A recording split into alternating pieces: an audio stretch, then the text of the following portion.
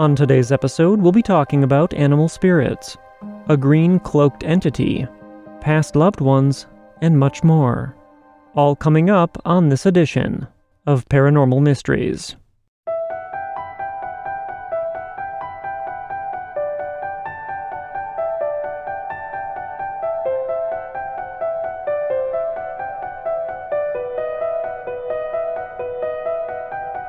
Thank you all for joining me and welcome once again. I'm your host, Nick Ryan. I'd like to remind everyone how much I appreciate you tuning into the show. Your support and generosity is always amazing. And if you're new to the show, please remember to subscribe, share, and review the podcast. This supports us by helping new listeners to discover the show. And if you'd like to support us even further by becoming a patron or by donating, please visit us at patreon.com slash paranormalmysteries or at buymeacoffee.com slash paranormal. These links and others can be found in the show notes. And if you've encountered the paranormal and would like to share your story, please email me at paranormalmysteriespodcast at gmail.com. All experiences, no matter how big or small, are always welcome. And with that being said, our first story of the day comes to us from Ray, and Ray's story is called My Ghost Light Experience. Ray says, Hi Nick, I just wanted to thank you again for the platform you've created for us. It's my favorite by far, and I'm hoping to hear my own experience read by you as well. You give other stories the genuine respect most deserve through your narration, and I'd be most honored. So here it is. My girlfriend and I experienced something I feel most never get the chance to on this late night in an old local cemetery outside of Laurinburg, North Carolina. Whether you can believe it or not, it's 100% real. I also have a photo and video proof as well that I can send in if you're interested. It doesn't come close to doing what we saw justice, but it's proof for us nonetheless. It started out with us just parked on the back side of the cemetery, where no one any longer are laid to rest. We were discussing all the what ifs and just kind of spooking ourselves with shared stories when a flashing light caught my eye in my rearview mirror. This light was orangish and about the size of a softball. It was approximately one foot off the ground and about 20 yards away when I first noticed it. The light started moving toward us in an eerily slow and snaky kind of left to right movement, weaving through the gravestones. It stopped no more than 10 feet from us, and was just hovering, blinking, and zigzagging as it changed colors from orange to red. All of a sudden, it shot up into the air about 20 feet, growing to the size of a basketball, while becoming much brighter and changing colors from red to purple and then green. It looked like a literal fire in the sky, it then split into two identical balls of light, still greenish color, and darting around very fast. All I could do was stare in awe while trying my best to establish some type of mutual communication with them. I didn't even think to turn on my recorder, though. It had me in what felt like a trance. I'm thankful, however, that my girlfriend did manage to record. After a few minutes of trying to communicate, it seemed to have dimmed away, but only temporarily, I then turned around and closed my eyes, trying to process what I'd just witnessed. And when I opened my eyes, all I could see was a red haze all around us. That scared me. My girlfriend didn't see the red haze, but as you can hear in the video, she was terrified in general. I then started the truck and pulled out of that section of the graveyard. We were going to leave, but I just had to see more, so I pulled into the next dirt drive down from where we were and parked again. Multiple lights then started coming out of that gated section and started toward us, which didn't make much sense to us, because instead of just going over or even through the fence to where we were now, the lights traveled out through the main gate and then over and up to us, as if they couldn't pass over the threshold to the newer section of the cemetery without exiting their own section first through the gate. They then proceeded to put on what resembled a firework show, Dozens of multi-sized, color-changing orbs dancing around the night in what felt like our own personal gift from them. No words can explain it really. I was just stunned by their mystic beauty. It did turn sour, however, eventually, and we left abruptly when my girlfriend started to scream at me to go. Please, go now. She had seen a dark hooded floating entity coming up behind us in her side mirror. She said she watched it come up and turn into her side door, moving right through her and over to me. She felt it pass through her. Upon recognizing the severity of the situation through her screaming, I then backed out onto the road and stomped on the gas. There were frogs all over the road, like I could never imagine. They covered the road and the ditches for at least 50 yards. It was so weird and scary. Now, on our way home, it seemed like I skipped some roads because we ended up at a stop sign about two miles from our house in what seemed to be no time. The drive back should have taken us at least 45 minutes, but my girlfriend swears that she saw the clock when we left, and it took us 13 minutes to get home. I know how this might sound, but I swear on everything that I know this story is 100% true. I could have gotten some small details off, like I'm not exactly sure if I got the color changes of the lights correct, but they were all the colors I've claimed, nonetheless. Since that October night in 2019, we've experienced some dark occurrences at our home, which is an old home now. One of them was me staring at a tall, dark, hooded figure standing in the front window as I was outside speaking to my daughter in our driveway. It stood and stared back for at least five seconds before it turned right and then just walked through the wall and fireplace. We would smell a putrid scent just there and gone multiple times. Then there was a handprint the size of a small child on the hanging towel in the bathroom one morning, and there was lots of tapping and knocking throughout the house. We also heard what sounded like an old AM radio some nights, but the worst by far was the rage in our emotions happening way too often. Thankfully, we eventually left that house, and things do seem to be normal again. I would highly appreciate anyone who might provide some insight to our experiences. Thanks again, Ray. In the coming days, I'll be putting Ray's pictures and video up on the forum for everyone to see. Our next story comes to us from Tiffany, and Tiffany's story is called Dreams of Loved Ones. Tiffany says, Hey there. I have always been sensitive to the paranormal, and I've had different encounters throughout my life. Today, I would like to share two very similar scenarios that have occurred. I have had moments of loved ones saying goodbye in dreams right before they pass away. The first time it happened, my great grandmother had been in the hospital for about a week. By the time we got to the hospital, she was unable to speak any longer. We were there a few days before it happened. The night before she passed, I saw her in my dreams. She came to me and told me that she knew my mother and I had arrived at the hospital. She told me that she loved us. When my mom woke me to go to the hospital, I was in tears. I immediately told her that Granny said that she loves us and knows we came to see her. Later that day, I attempted to take a nap in the hospital waiting room when a security guard came by. He told me I was not allowed to sleep in the waiting room, and I needed to get to the hospital room. My mom was sitting a few seats over, and she didn't see the security guard. I grabbed my mom's attention and told her that we needed to go. I told her about the security guard that was just there, but when I tried to point him out in the hall, there was no one there. We brushed it off and we walked into the hospital room. About two minutes after we arrived in the room, my grandmother took her last breath. I stopped by the information desk right outside of the hospital room and tried to find the security guard. I gave a detailed description of the guard, and the nurses were very confused.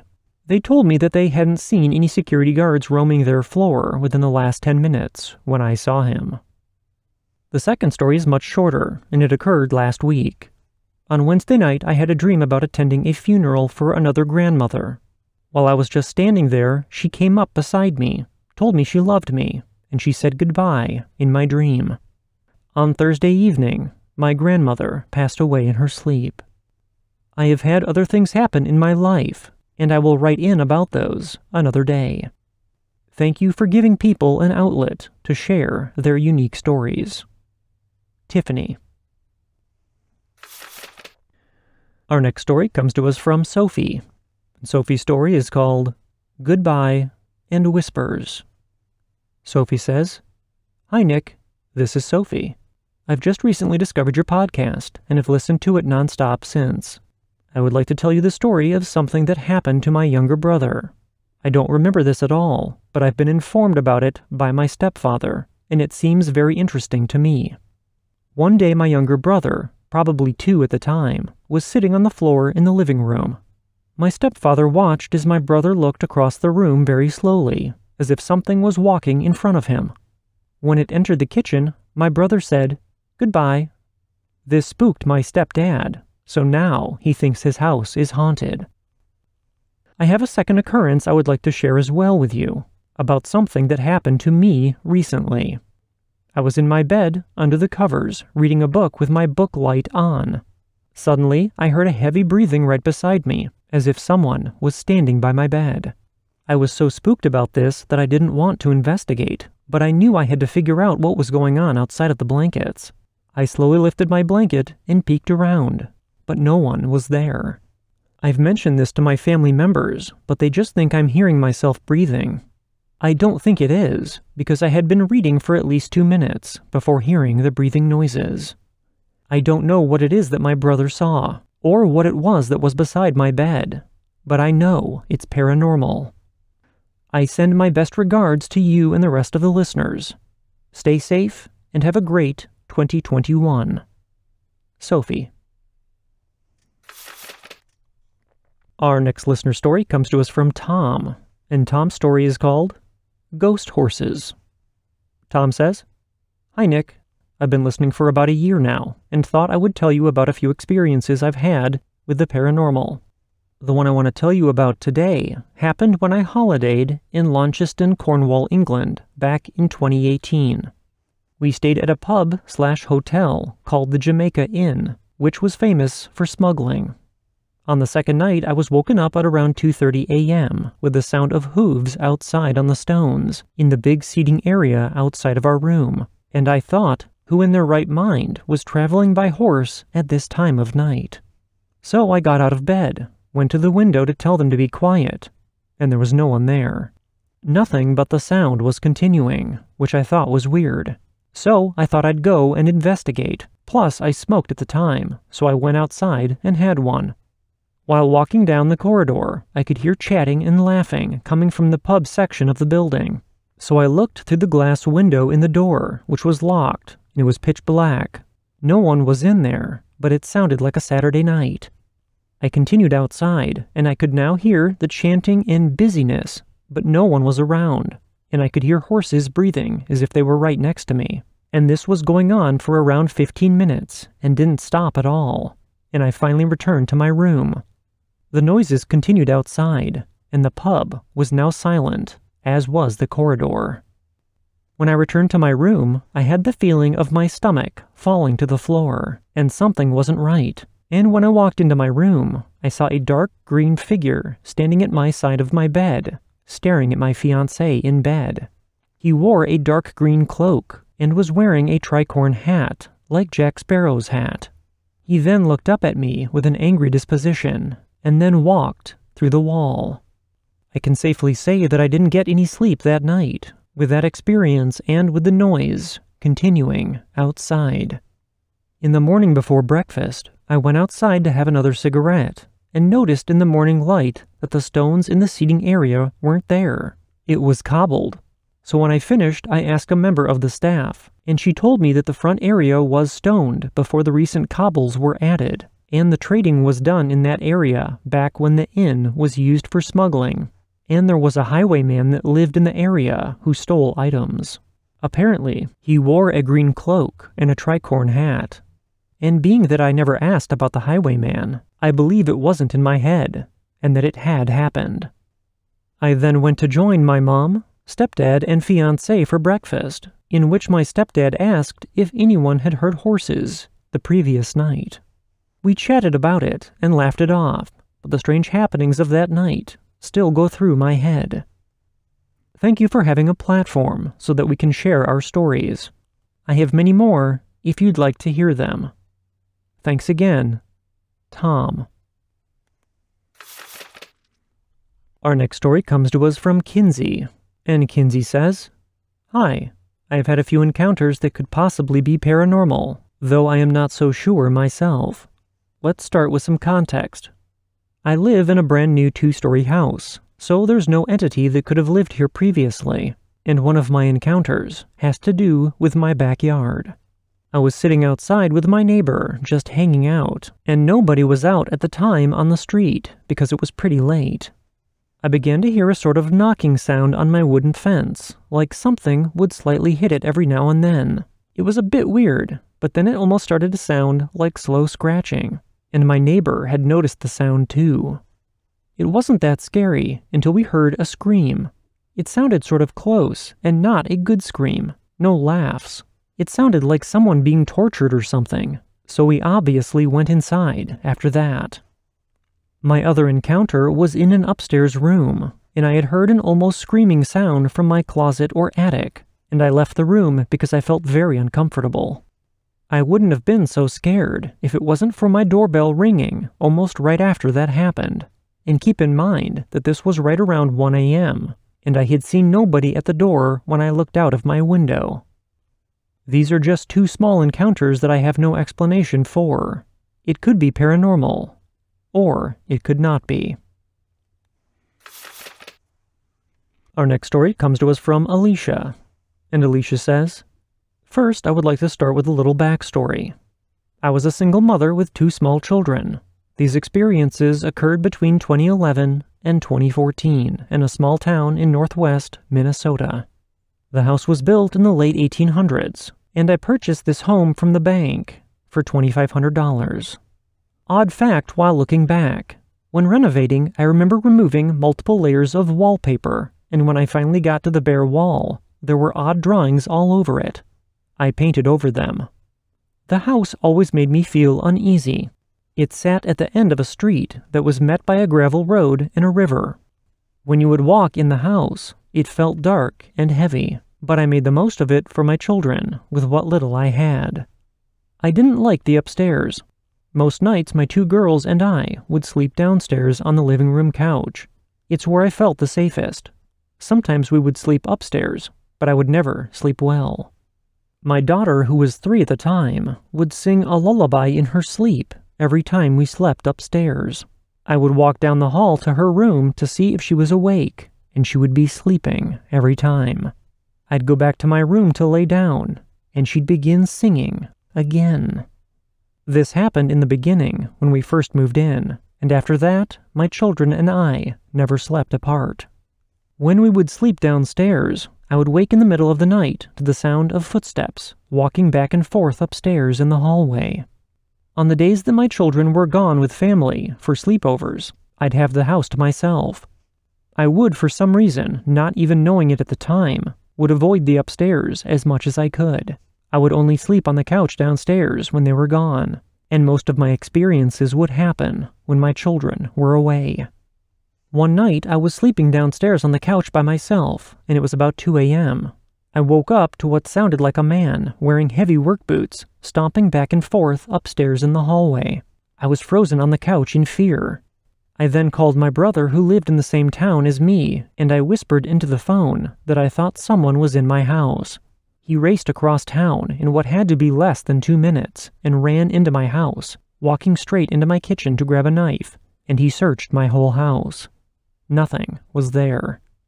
Another night, I went out with some friends while my children were gone for the weekend. I was dropped off at my house around 2 a.m. I unlocked the door, walked into the living room, and turned on the lamp. I then sat down in the recliner, and immediately my daughter's toy, said these exact words Hi, welcome back. This toy has never said those words before. I immediately picked up the toy and threw it outside. I didn't rest well that night, and the toy never came back in. Another night, while my children were gone, I was sleeping on the couch and I woke up. I looked at the clock and it was 2 a.m. For some unknown reason, I had the urge to get up and move the curtain to look out my living room window, which faced the front yard. I was terrified to see a man standing in my yard and staring at my house, with his fists clenched, like he was ready to charge inside. I ran to my phone and called the local police department. I then ran to my front door to make sure it was locked, and the man disappeared. They sent two police officers over to look around my yard, but they never found or saw anyone. Looking back, I don't understand what made me wake up to look out that window.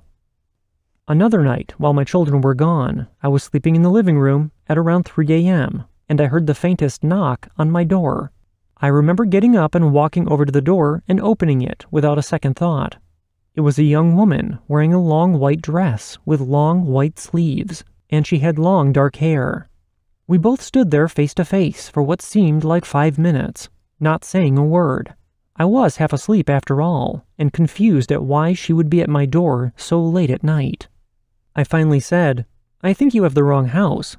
And she said, Yeah, I think I do. She then walked down my steps into the middle of the street and then disappeared into the night. Looking back, I still can't believe how eerie the whole encounter was. The next experience occurred this time when my children were home. My daughters were two and four at the time. It was a regular weekday, and my oldest, who was four, was downstairs watching a cartoon on the TV. For this story, to give you a visual, my living room, dining room, and kitchen all connected with big open doorways. The TV was on in the living room, and she was singing and dancing in the dining room along with the TV. I went upstairs with my two year old to give her a bath, while my oldest stayed downstairs. While I'm in the middle of filling up the tub, my four year old starts screaming at the top of her lungs. I grabbed my daughter and ran downstairs as fast as I could. She met me at the bottom of the stairs, crying inconsolably. Once she finally calmed down, she was able to tell me what had happened.